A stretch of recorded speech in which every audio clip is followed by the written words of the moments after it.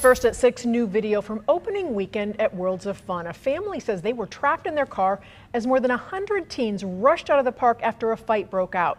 Now, the park is working with local police to decide how to keep Worlds of Fun safe for families.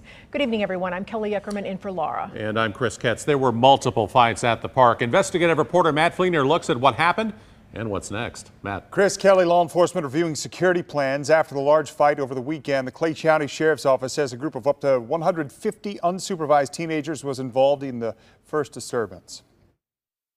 We're talking at least 100 kids fighting. A mother sharing with the world what happened at Worlds of Fun Saturday night. This is when we're in the parking lot. We had couldn't even leave yet. Surrounded by cops and fights. The fights wouldn't stop. Natalie Anderson went live on social media, feeling trapped in her car with her kids, trying to leave the park. It was not worlds of fun. It was worlds of chaos, worlds of fear. Are you serious? They're fighting again. The Clay County Sheriff's Office saying upwards of 150 unsupervised juveniles had multiple fights in the park starting around 7:30. People weren't able to have fun on opening day at Worlds of Fun, which is historically a really great time. This is sad. The sheriff's office says fights inside the park spilled out to the parking lot.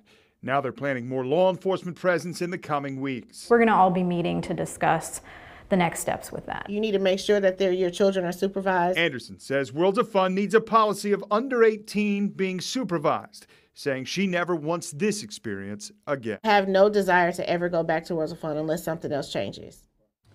All right, so the sheriff's office also said a teenage girl punched a deputy. She was arrested and released to her parents, according to the sheriff's office. Worlds of Fun sent a statement that said, in part, we have zero tolerance for this kind of behavior and believe those responsible should be held accountable. Kris.